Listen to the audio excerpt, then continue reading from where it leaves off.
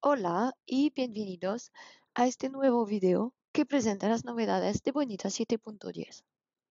Soy Delfín Cual, evangelista y community manager en Bonitasoft, y en este octavo capítulo os presentaré las otras mejoras realizadas en el UI Designer en nuestra nueva versión para proporcionar mayor flexibilidad y libertad en la creación de vuestras páginas. Primero, mejoramos los widgets de la tabla y de la tabla de datos para garantizar una visualización de información más avanzada y clara. Para ello, ahora encontrarás cuatro nuevas propiedades. Un interpretador HTML que te permite agregar enlaces, iconos, estilos o incluso hacer acciones y diferentes formatos de tabla como zebra striping, condensado o incluso con borde. Por otro lado, agregamos en el panel de widgets la pestaña del contenedor dinámico, totalmente personalizable con la adición de clases CSS, permitiendo mostrar u ocultar ciertas pestañas. Gracias a sus dos nuevas propiedades, puedes elegir cómo se muestran las pestañas y su diseño para crear magníficos menús laterales. Lo veremos todo a través de una pequeña demostración. Y entonces voy a ir en el UI Designer. He creado una página aquí que te va a dar una visión general de las diferentes propiedades de los widgets tabla y data tabla. Aquí nos centramos en el widget data tabla, pero se aplican las mismas propiedades para el widget tabla.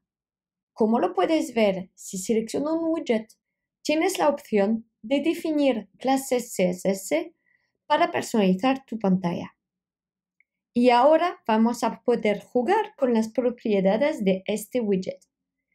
La primera propiedad es la tabla que incorpora HTML. Si incorporamos, por ejemplo, una etiqueta A u otras etiquetas HTML, estas se tendrán en cuenta como lo veremos cuando lanzaré la vista previa. Aquí vemos que hay HTML.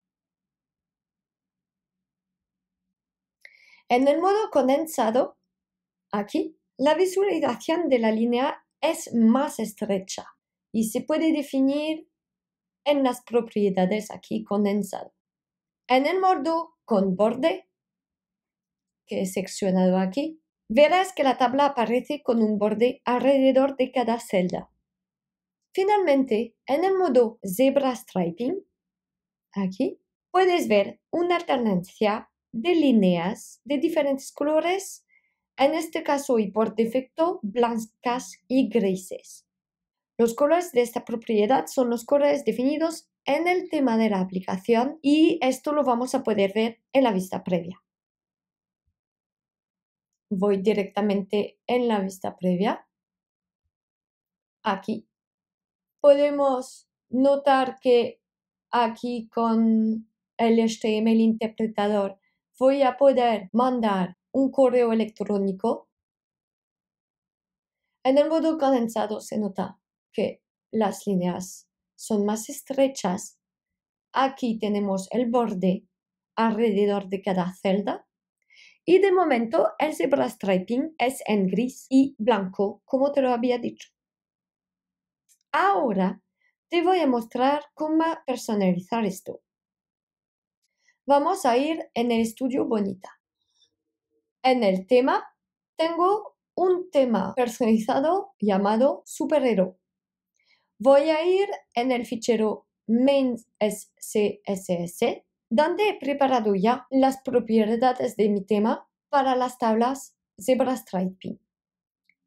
Y entonces lo que voy a hacer es activarlo aquí y volver en mi vista previa. Voy a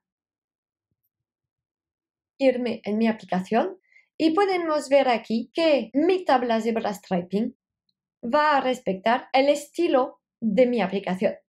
También es posible modificar las propiedades de una matriz solo para sobrecargar el estilo de la aplicación. Para eso obtenemos el estilo CSS que está en los assets. Aquí lo he preparado. Lo vamos a abrir. Vamos a añadir este estilo que he llamado Zebra Custom con diferentes colores. Voy a guardar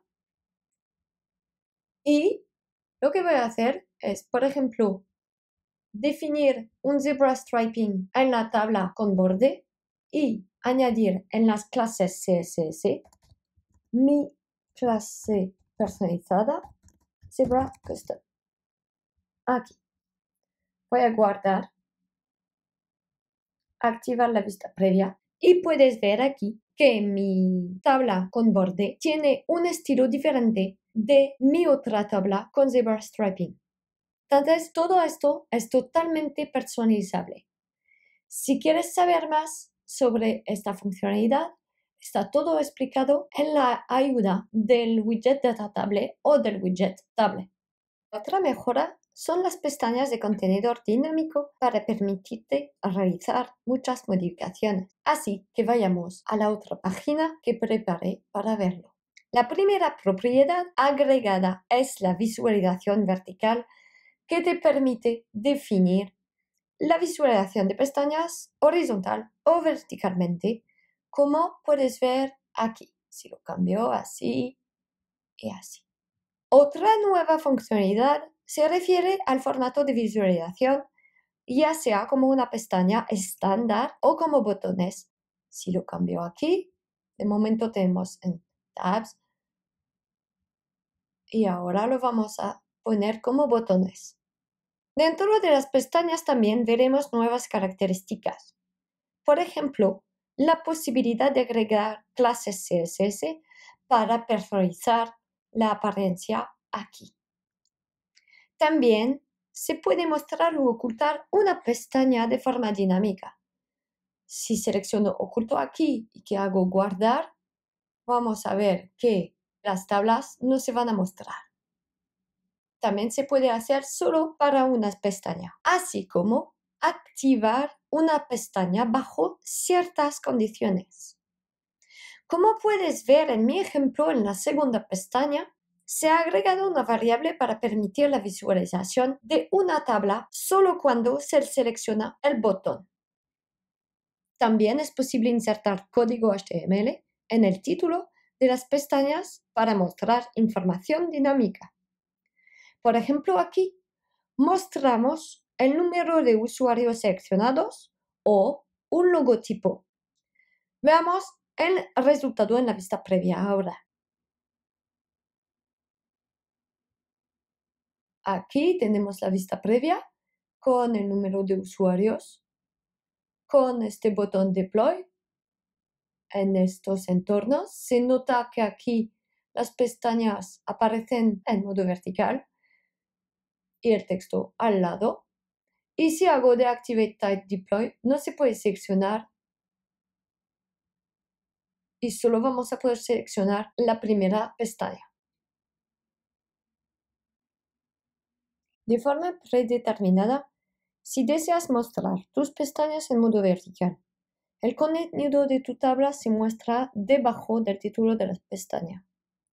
Entonces, si deseas mostrarlo a la derecha del título de la pestaña, como lo hemos visto antes en la vista previa, hay un tutorial aquí disponible en la ayuda en la parte de Tabs Contener. Aquí te va a mostrar la documentación y la manera de configurarlo todo.